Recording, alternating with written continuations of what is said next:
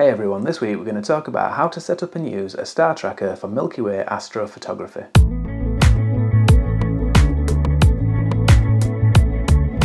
So last year I made some videos about my first attempt at doing astrophotography. Some shots of the Milky Way over a beach in Cornwall and I'll put a link up top to one of those videos now. So I'm quite a beginner when it comes to astro Milky Way photography. And as you get more experience, what I've learned is that some people tend to use what is called a star tracker. So a star tracker is a device that you can set on your tripod, attach your camera to it, and it will actually rotate your camera with the Earth's rotation. And the reason why that's necessary is because with astrophotography or any kind of nighttime photography, you need to get a lot of light into the camera. It's obviously very dark. So you can do that by having a very wide aperture or or and a long exposure.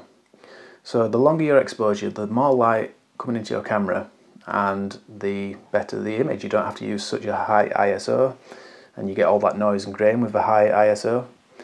So it is really good to get that long exposure, but the downside of that is that you're going to get trails with your stars. The longer your exposure, the longer you're recording, and because the Earth's moving, you actually get trails on your stars. So with a star tracker, it will rotate the opposite way to compensate for that movement and hopefully you get pin sharp stars with a long exposure. Recently, Move Shoot Move very kindly sent me their Nomad star tracker to use and review.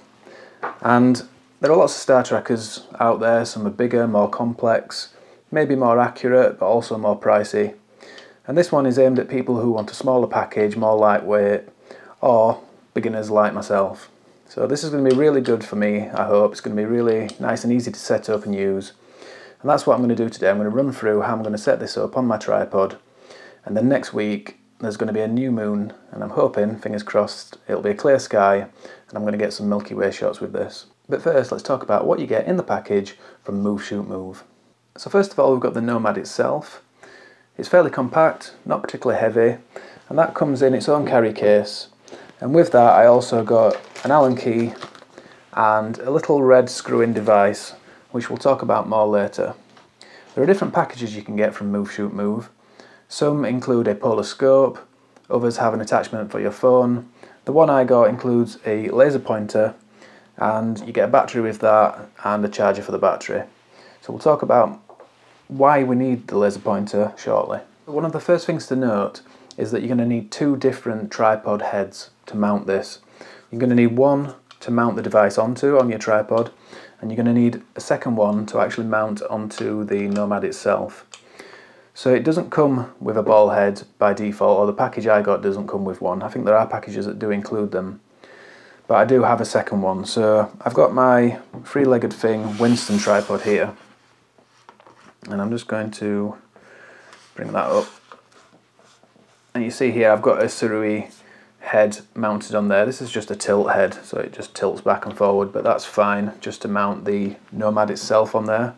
So it does have a quick release plate. And one thing I did notice is it comes with a screw on the bottom. So that's a safety stop screw.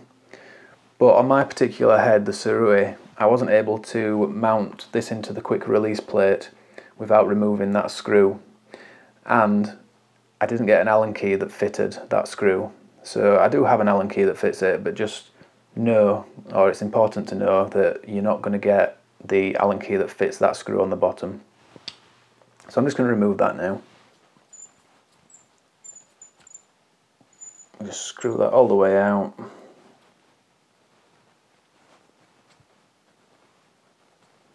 Like so. And then that's ready to pop into the head like so. And we can carry on with the rest of our setup now. So we're going to put the laser pointer into this and if I just swivel this around you see on the back here there's a little red screw plate which will just unscrew. You might need to put a screwdriver in there if it's tight.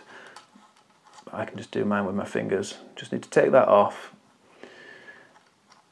and into there we're going to put the little red device that we talked about earlier.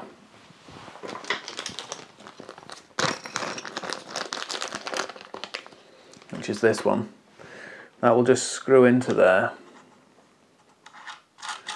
And that is going to receive the laser pointer. So they don't tell you this in the book, but you do need to just screw off the end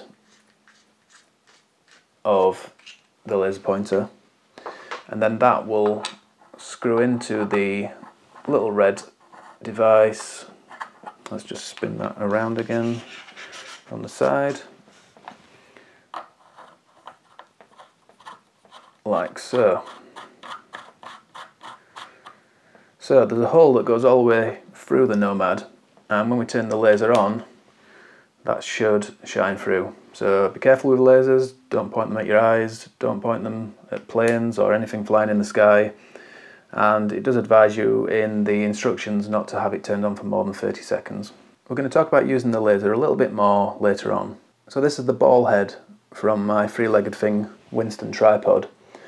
And I took that off earlier put on the Sirui head because this is going to fit onto the mounting plate now on the front of the Nomad. So just onto here. So what we have to do is unscrew this red ring like so. That comes off. This uh, plate inside here is where we're going to mount the ball head. So you just need to leave that outer ring on the mounting plate itself and then just screw the three quarter or three eighth inch screw into the bottom of your ball head like so just going to give that a little tighten and then we can put this back onto the screw and then just tighten up the red ring like so. So now we've got the Nomad on the Sirui head, on the tripod, and we've got the ball head on the mounting plate on the Nomad. Onto the ball head we can now mount our camera. So I've got the Z7 on here. I've got my Sigma 14mm and this is a very heavy lens. So it's going to be a good test for the setup. I'm going to pop that into there, make sure it's nice and tightly locked up.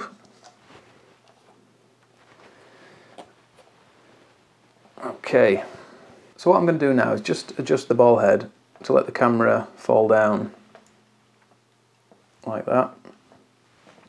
A, so that you can see me, but also because at this point, when we're actually out in the field and we're going to get the shot of the Milky Way, we need to align the star tracker to north and we do that by pointing the laser or whatever system you're using, the polar scope or your phone, at Polaris, that's the North Star.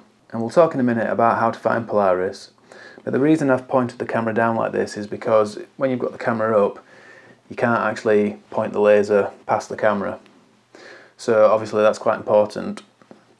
But the reason I wanted to mount the camera first is because after we've adjusted and aligned the Nomad to Polaris, then we don't really want that to move. So I want the minimum amount of movement possible. So I want to already have my camera mounted on the mounting plate, etc. So that all I have to do is adjust the ball head and bring it back up to where I want to take my shot.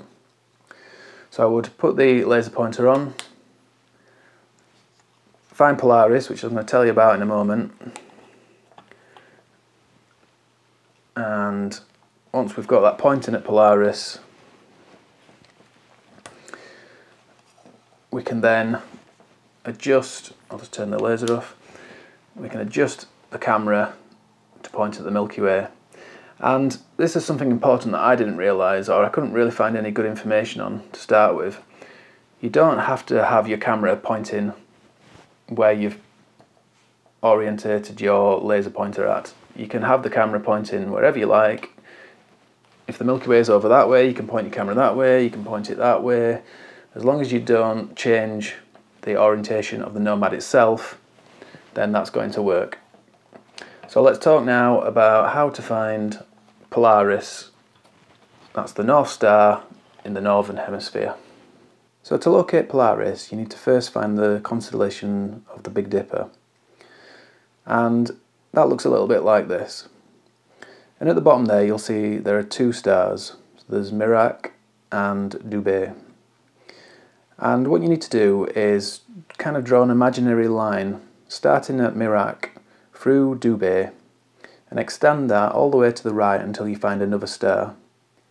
And that star is Polaris which is part of the Little Dipper constellation. You can then point your camera at the Milky Way, get your settings, start your exposure, and then you flick the switch on the side of the Nomad to N. Well, I do because I'm in the Northern Hemisphere. If you're in the South, you switch it to S. And it's as simple as that. That's going to start moving around. It's already moving around now. It's very slow, but that's going to counteract the rotation of the Earth. It's going to move in the opposite direction so that we don't get the blur in the stars. So like I said, I'm going to take this out next week and try it out.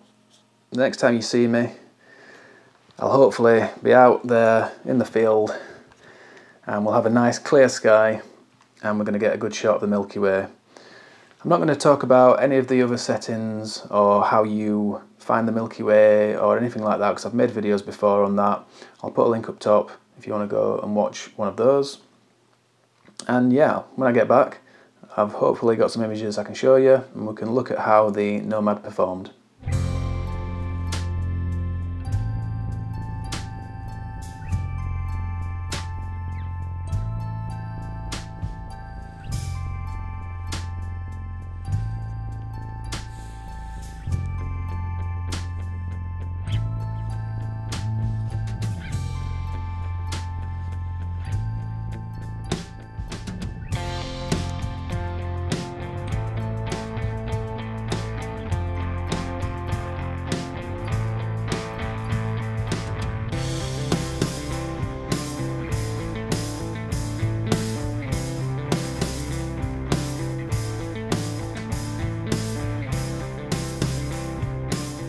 Okay, so quite a bit of time has passed and not everything has gone to plan as usual with astrophotography. For a start, there's been probably over a month and two new moons since I recorded some of the previous sections. And during the days around those two new moons, there were no clear skies, it was just cloudy. I got really unlucky. So I had to resort to plan B and I was on holiday recently, I actually got back yesterday and while I was in France on a campsite in Normandy, I decided to get a shot there. It wasn't perfect because it wasn't a particularly dark sky zone. I couldn't get a particularly good composition either, just due to the location on the campsite. But as you saw, the image I got was just enough so that we could see some of the Milky Way and we could see how the Nomad performed. Overall, I think the results were pretty good.